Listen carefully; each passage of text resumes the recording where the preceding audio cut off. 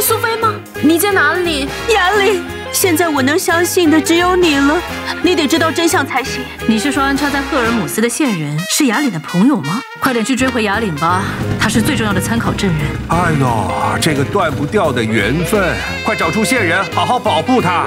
有个女人摔下悬崖，一起去看吧。苏菲，你该不会出事了吧？周一至周五晚间十点，M Two 金次方超能奶昔，爱我的间谍。